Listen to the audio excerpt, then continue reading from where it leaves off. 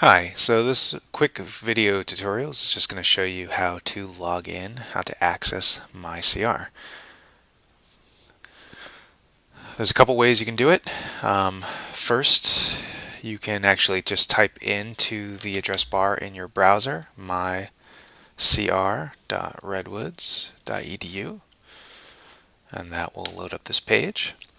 Um, you can also go to the College of the Redwoods homepage, which is redwoods.edu, and from there there's links both at the top to MyCR, and there's also a link here on the side button bar to MyCR.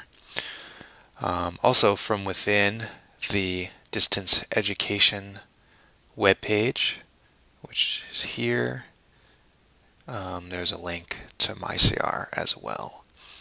So once we're actually at the MyCR webpage, um, over on the right, there's boxes for username and password.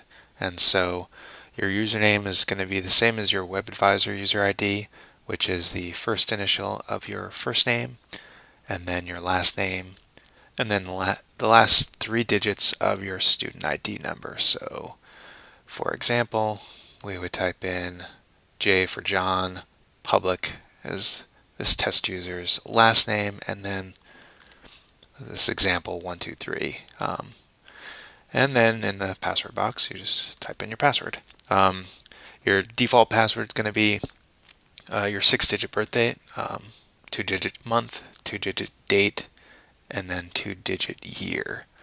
So once you've done that, just hit the login button and you're in.